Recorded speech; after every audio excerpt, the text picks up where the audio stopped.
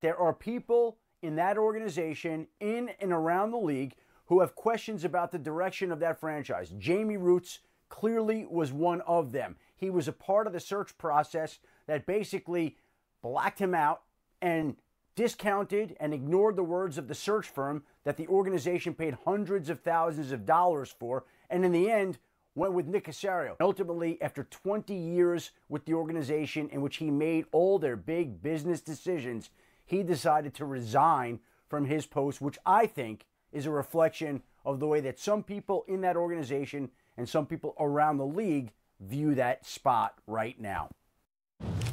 And of course, this is mostly interesting to football fans today because of the impact that it has on the situation with Deshaun Watson, as D Wood has gotten up with us early today, and we'll get to you in just a second. But, Jeff, let me come back to you here because the name everything keeps coming back to was the name Jack Easterby. Now, most football fans have probably right. never heard that name and certainly couldn't recognize a picture of his face. But he seems to have become the most important person in that organization and in that regard, maybe in the whole NFL right now. Quickly, who is he and why is this so important?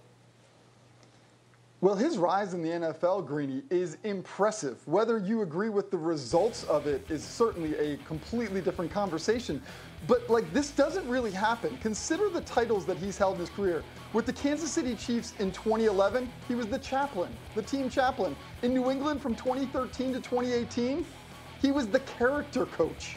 I mean, do these sound like titles of people who eventually overcome, uh, become the the face of an organization, which Easterby is quickly becoming in Houston? No, this doesn't happen. And what's most curious about it is all the people like Bill O'Brien, Brian Gaines, a former GM, uh, now the president of the organization, uh, they're all being cast aside. Easterby is holding the ranks. So while uh, it's not a normal rise, it certainly, in many ways, is an impressive one. And it is that, but it's also an important one because it seems to be going so badly. I mean, at minimum, so sideways in Houston that it has Deshaun Watson, Damien Woody, the most important player that franchise has ever had.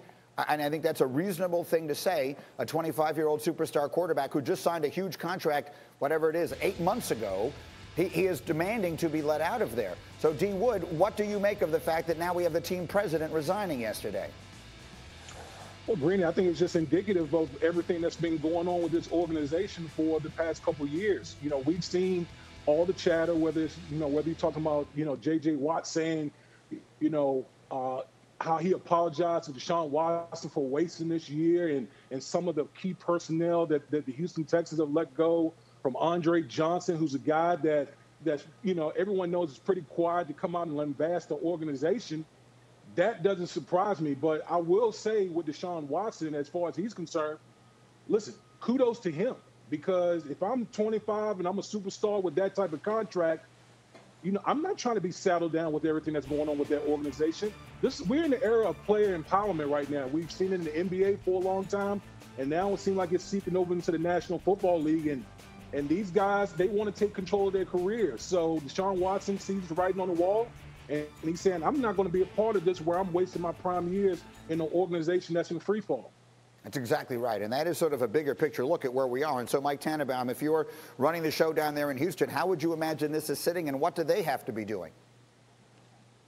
Yeah, it all starts with Cal McNair. You know, Greeny, Deshaun Watson signed a contract six months ago. We're not talking about a year or two years ago. Mm-hmm. And remarkably, in six months, it went from a franchise record contract to now he won't even return the owner's calls. That is unacceptable, and it starts with the owner. And he has to ask himself in an honest, sober way why am I going with Jack Easterby when I have Deshaun Watson, who's one of the 10 best players in our sport? He's young, he's high character, he's a great leader, he's under contract. That's what you want we there are people in this industry that spend decades trying to get Deshaun Watson. You do everything within reason and then some to make sure that he's happy and he's fulfilled. And D Wood's right. This is about player empowerment and starts with ownership. And Cal McNair is the only guy that can fix it. He has to move on from Jack Easterby and make sure that Deshaun Watson is there leading his franchise. And listen, this is starting to reverberate around the league. I mean, there is almost an air of radioactivity that right now surrounds that franchise. You hear it from other players. I think in free agency it becomes an impact. Something needs to be done there, and obviously the most important piece of it is the franchise quarterback.